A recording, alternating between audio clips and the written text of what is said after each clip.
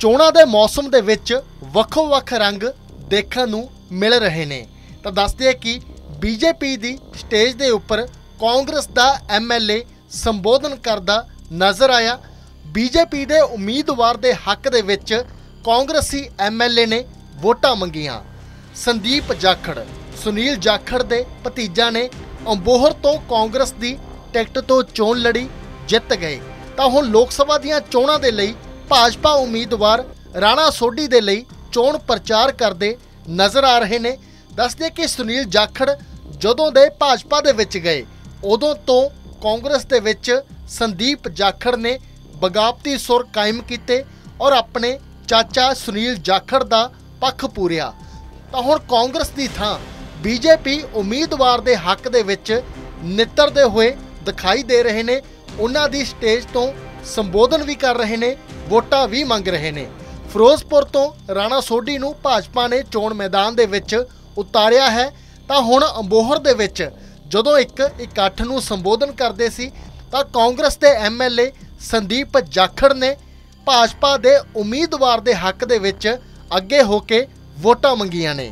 ਤਾਂ ਦੱਸਦੇ ਕਿ ਬੀਜੇਪੀ ਉਮੀਦਵਾਰ ਦੇ ਹੱਕ ਦੇ ਵਿੱਚ ਕਾਂਗਰਸ ਦੇ ਐਮਐਲਏ ਸੰਦੀਪ ਜਾਖੜ ਨਿੱਤਰ ਆਏ ਨੇ ਔਰ ਅੱਗੇ ਹੋ ਹੋ ਕੇ ਉਹਨਾਂ ਦੇ ਵੱਲੋਂ ਜਿੱਥੇ ਸੰਬੋਧਨ ਕੀਤਾ ਜਾ ਰਿਹਾ, ਉੱਥੇ ਹੀ ਭਾਜਪਾ ਦੇ ਲਈ ਚੋਣ ਪ੍ਰਚਾਰ ਕੀਤਾ ਜਾ ਰਿਹਾ ਔਰ ਰਾਣਾ ਸੋਢੀ ਦੇ ਲਈ ਵੋਟਾਂ ਮੰਗੀਆਂ ਜਾ ਰਹੀਆਂ ਨੇ। ਚੋਣਾਂ ਦੇ ਮੌਸਮ ਦੇ ਵਿੱਚ ਵੱਖੋ-ਵੱਖ ਰੰਗ ਦੇਖਣ ਨੂੰ ਮਿਲ ਰਹੇ ਨੇ। ਤਾਂ ਦੱਸਦੇ ਆ ਕਿ ਬੀਜੇਪੀ ਦੀ ਸਟੇਜ ਦੇ ਉੱਪਰ ਕਾਂਗਰਸ ਦਾ ਐਮਐਲਏ ਸੰਬੋਧਨ ਕਰਦਾ ਨਜ਼ਰ ਆਇਆ। ਬੀਜੇਪੀ ਦੇ ਉਮੀਦਵਾਰ ਦੇ ਹੱਕ ਦੇ ਵਿੱਚ ਕਾਂਗਰਸੀ ਐਮਐਲਏ ਨੇ ਵੋਟਾਂ ਮੰਗੀਆਂ। ਸੰਦੀਪ ਜਾਖੜ, ਸੁਨੀਲ ਜਾਖੜ ਦੇ ਭਤੀਜਾ ਨੇ ਅੰਬੋਹਰ ਤੋਂ ਕਾਂਗਰਸ ਦੀ ਟਿਕਟ ਤੋਂ ਚੋਣ ਲੜੀ, ਜਿੱਤ ਗਏ। ਤਾਂ ਹੁਣ ਲੋਕ ਸਭਾ ਦੀਆਂ ਚੋਣਾਂ ਦੇ ਲਈ ਭਾਜਪਾ ਉਮੀਦਵਾਰ ਰਾਣਾ ਸੋਢੀ ਦੇ ਲਈ ਚੋਣ ਪ੍ਰਚਾਰ ਕਰਦੇ ਨਜ਼ਰ ਆ ਰਹੇ ਨੇ।